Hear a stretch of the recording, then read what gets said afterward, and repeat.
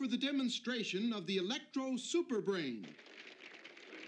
Yeah, like, thank you very much. Uh, can we have a volunteer from the audience who wants to be smarter? Oh, hey, uh, I'm your man there, uh, Professor. Hmm, he sure looks dumb. Don't you agree, Professor Daphne? Yes, just what we want.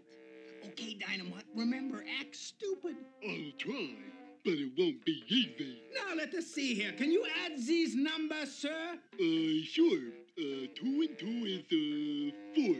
That's the right answer. Glory be. Gosh, I thought three and one was four. Now, like watch how the electro super brain makes this dummy super smart. Now, Dog Wonder, time to be super smart. Sure, I insert my super intelligence tape, and I'm a regular know-it-all.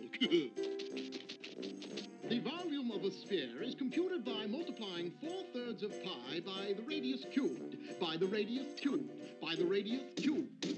I'm getting that super brain gizmo right now.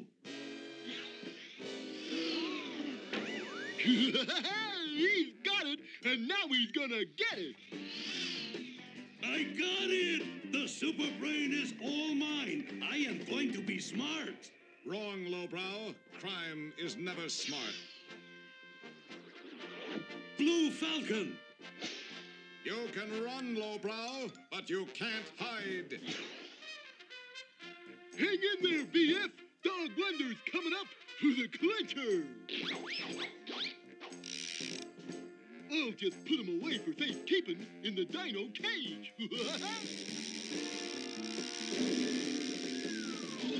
You missed him, Dog Wonder.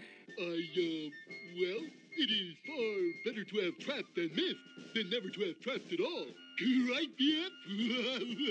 Get rid of this cage. uh, your wish is my command there, BF. We've got to split up and search every corner of this university for lowbrow.